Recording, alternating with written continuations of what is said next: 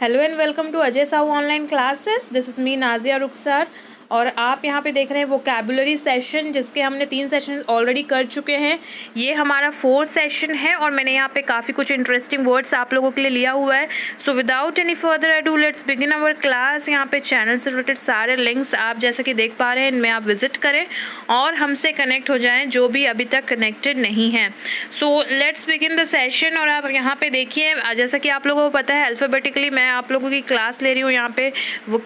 में तो अल्फ़ाबेटिकली मैंने वर्ड वर्ड्स लिए हुए हैं। और today let's start the first word with letter I और यहाँ पे मैंने काफ़ी कुछ फ़िल्टर करके लिया हुआ है, जो कुछ मुझे इंपॉर्टेंट लगा है, सारा कुछ मैं नहीं ले रही हूँ। तो let's begin with the first one the first word for today is innovative जैसा कि आप यहाँ पे देख पा रहे हैं, और यहाँ पे कॉलम नंबर सेकंड में मैंने सारे मीनिंग लिए हुए हैं, और कौन से पार्ट ऑफ़ स्पीच को बिलोंग करते हैं, ये भी मैंने लिखा हुआ है। तो इनोवेटिव का मतलब होता है, कोई भी ऐसी चीज़ जो बहुत ही अपने आप में नई हो न्यू है, और ओरिजिनल हो। कोई भी ऐसा चीज़ जो नएपन से संबंधित हो, परिवर्तना, परिवर्तन आत्मक हो। Basically something which is original and new in itself you can even say it unconventional and novel introducing new ideas और you can say original and very much creative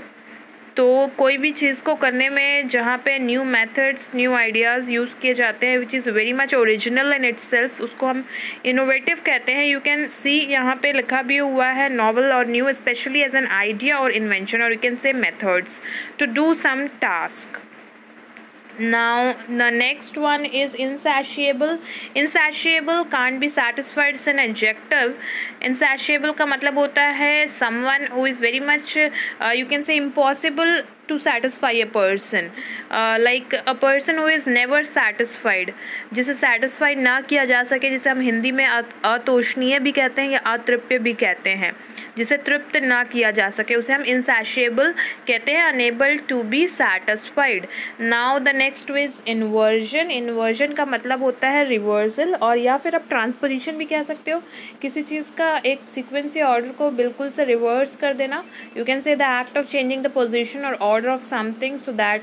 it becomes the opposite of what it was before मतलब पहले जो था वो, पहले जो था original में जैसा भी था उसका बिल्कुल रिवर्स कर देना आ, उसको पलट देना या फिर विपरीतता आप बोल सकते हैं। Now next is invoke it means to call upon to appeal to example a higher power इसका मतलब होता है टू कॉल ऑन समवन और टू अपील टू समवन या फिर किसी पर्टिकुलर कार्य के समर्थन में कोई ऐसा नियम कानून आदि का प्रयोग करना या फिर आप जैसे यहाँ पे लिखा हुआ है ना टू कॉल ऑन तो बेसिकली आह्वान करना को हम इन्वोक करना कहते हैं। Now the next is lament it means to feel sorrow for और टू मॉर्न बेसिकली ग्रीफ या सॉरो हम बोलते हैं जिसे we can even say mourn that means to feel और show sorrow for the death of someone ज़्यादातर death uh, के लिए जो एक फीलिंग शो uh, की जाती है जो बहुत ज़्यादा एक शोक वाला जो फीलिंग होता है विलाप आप बोल सकते हैं मोर्निंग वाला फीलिंग होता है उसे हम लैमेंट बोलते हैं। ओके okay, शोक मनाना basically the next is locomotion movement इसका मतलब होता है यू कैन से मूवमेंट और ability to move from one place to another Hindi में आप बोल सकते हो गति या फिर चलन. नाउ नेक्स्ट इज़ लुक्रेटिव इसका मतलब अट्रैक्टिव होता है और बेसिकली थोड़ा मॉनिटरी सेंस में होता है. Something which is very much profitable profit making gainful और मनी मेकिंग ऑब्वियसली वो बहुत ज़्यादा यू कैन से कि अट्रैक्टिव होता है तो ऑब्वियसली कब अट्रैक्ट होगा अट्रैक्टिव होगा? जब वो मनी uh, मेकिंग आपको लगे या प्रॉफिट मेकिंग लगे या it is capable of making a lot of money you can say profitable जिसे हम हिंदी में लाभदायक या लाभप्रद भी कहते हैं तो उन सब चीज़ों को ऐसे कुछ you know you can say proposals को आप बोल सकते हैं lucrative once now next is malicious it's a very negative word it means harmful और स्पाइटफुल तो basically something characterize by malice malice से ये वर्ड आया है, इसका मतलब ही होता है वेरी मच हॉस्टाइल या बिटर या विद्वेश विद्वेशपूर्ण someone who is very much unkind and cruel or you can say uh, intended to do harm जिससे आपको harm पहुँचे नुकसान पहुँचे जो अपने आप में बहुत हॉस्टाइल है यू कैन से प्रतिरोधी जैसा बिहेवियर रखता है बिटर है यू कैन से उसे मलेशियस कहते हैं नोनेक्स इज़ मैलिएबल ये टर्म हमने केमिस्ट्री वगैरह में पढ़ा हुआ है कि कोई भी ऐसा मान लो मेटल है and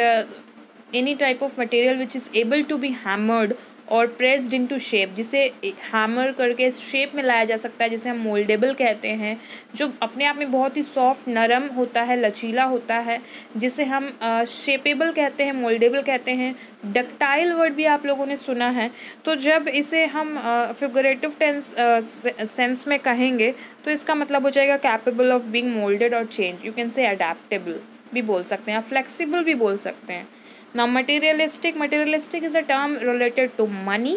Money oriented जो चीज़ें होती है वर्ल्डली चीज़ें होती हैं या किसी पर्टिकुलर पर्सन के लिए अगर हम ये एडजेक्टिव यूज़ कर रहे हैं superficial focus on material positions अगर हम किसी पर्टिकुलर पर्सन के लिए यूज़ कर रहे हैं तो वो ऐसा पर्सन होगा who believes that having money and possession is the most important thing in life कहने का मतलब है कि लाइफ में अगर कुछ बहुत ज़्यादा इंपॉर्टेंट है तो वो सिर्फ़ मनी है पोजेशंस हैं क्या कुछ मेरे पास हो सकता है uh,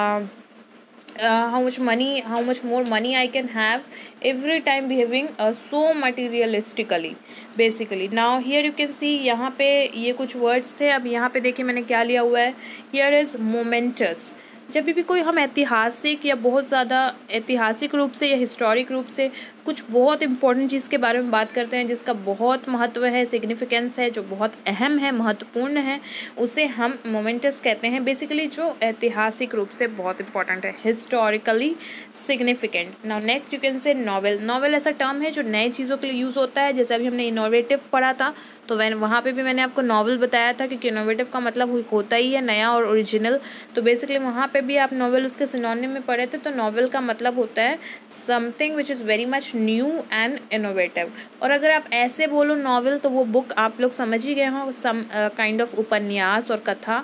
तो वो भी एक मीनिंग होता है, ठीक है? न्यूएंस। न्यूएंस का मतलब होता है सटल डिफरेंस इन मीनिंग कहने का मतलब है जो छोटी छोटी बारीकियाँ होती है, जो फाइन डिस्टिंक्शंस होते हैं छोटा छोटा डिफरेंस या वेरिएशन होता है ना, उसे हम न्यूएंस कहते हैं। Now next is null null का मतलब होता है लीगली वॉइड एंड इनफेक्टिव मतलब अगर लीगल तौर से देखा जाए तो जो चीज़ें इनवैलिड होती है which has no binding force basically जो अशक्त होती है, अपने आप में शून्य होती है, जिसका, जिसकी जिस, जो पर्टिकुलर चीज़ की वैलिडिटी नहीं रही, जो इनवैलिड है अपने आप में वॉइड है इनफेक्टिव है, उसे हम, जिसका कोई प्रभाव नहीं है, उसे हम नल कहते हैं। लीगल तौर से आप इस चीज़ को याद रखेंगे। Next is objectivity judgement based on observation instead of emotion of opinions objectivity का मतलब होता है कि वो जजमेंट जो फैक्ट्स पे बेस हैं। वो उन फैक्ट्स पे बेस हैं जो fact basically that rely upon facts and जो किसी पर्सनल बिलीफ या फीलिंग्स या फिर यू कैन से इमोशंस या पर्सनल ओपिनियन से अफेक्ट नहीं होते। हम इसे हिंदी में वस्तु निष्ठता कहते हैं या विषय निष्ठता कहते हैं। तो बेसिकली ऑब्जेक्टिविटी का मतलब ये होता है कि ऐसे जजमेंट जो डिपेंड करते हैं फैक्ट्स पे ट्रू फैक्ट्स पे and not on personal believes और पर्सनल फीलिंग और इमोशंस ठीक है, अब ऑप्सलीट ऑप्सलीट हमने पहले भी पढ़ा हुआ है। ऑप्सलीट का मतलब जो पुराना हो चुका है, जो आउट ऑफ़ डेट हो चुका है, जो आउटडेटेड है, जो ओल्ड फ़ैशन है, जो प्रचलन में नहीं है नो लॉन्गर यूज़ रेयर और अनकॉमन यू कैन से जो पुराने ढंग का है या फिर बेसिकली पुराना है, अप्रचलित है, या फिर जो अब यूज़ में नहीं रहा which is not in use any more ऐसी चीज़ों को हम, ऐसी मान्यताओं को हम ऑप्सोलीट कहते हैं basically now next is omnipotent obviously use for God और आलमाइटी और डाइटी हाँ ईश्वर के लिए यूज़ किया जाता है ये पर्टिकुलर वर्ड बिकॉज़ इसका मीनिंग ये होता है having unlimited power almighty and all powerful all powerful almighty almighty हम क्यों बोलते हैं गॉड को? बिकॉज़ ऑल मतलब पूरी तरह से माइटी मतलब पावरफुल जो पूरी तरह से पावरफुल है, जो सुप्रीम है, जो सर्वशक्तिमान है, उसे हम ओमनीपोर्टेंट कहते हैं. नाउ ऑनसेट ऑनसेट का मतलब बिगनिंग होता है या स्टार्ट होता है. Beginning of something specially something unpleasant कभी कभी बेसिकली आप बुरी चीज़ों का जो शुरुआत होता है, उसके लिए ज़्यादातर आप ऑनसेट वर्ड यूज़ करते हैं। जैसे कि मैं आपको बता दूँ कि जो मिलिट्री अटैक होते हैं, हमले होते हैं, आक्रमण होते हैं, उन वो चीज़ का जब शुरुआत होता है तो ऑनसेट वर्ड का यूज़ किया जाता है। बाकी अगर मैं जनरली देखो तो इसका मतलब स्टार्ट या बिगनिंग होता है, जिसे हम प्रारंभ या आरंभ भी कहते हैं बिगनिंग और early stages early stages of something मतलब कोई चीज़ शुरू हुई है तो उसका जो शुरुआती स्टेजेस हैं जो अर्ली फ़ेज़ है, उसे हम ऑनसेट कहते हैं। ना opine to openly express an opinion मतलब अपने ओपिनियन को एक्सप्रेस करना। अपनी फीलिंग्स को हम अपने जो विचार हैं, उनको ओपन तरीके से वेरी फ्रैंकली और फ्रीली व्यक्त करना, स्पष्ट रूप से एक्सप्रेस करना। इसका मतलब होता है opine it's an verb it's a verb basically ornate ornate का मतलब होता है डेकोरेट करना, या फिर हाईली डेकोरेटेड या एम्बेलिश्ड भी हम उसे बोलते हैं। एम्बेलिश्ड बहुत ही अच्छा वर्ड है। एम्बेलिश्ड मैं आप लोगों को यहाँ पे मेंशन करके दिखाती हूँ, आप देखिएगा। यहाँ पे स्पेस नहीं है बट ये आप थोड़ा सा देखिए, यहाँ पे E M B E L L I S H E D embellished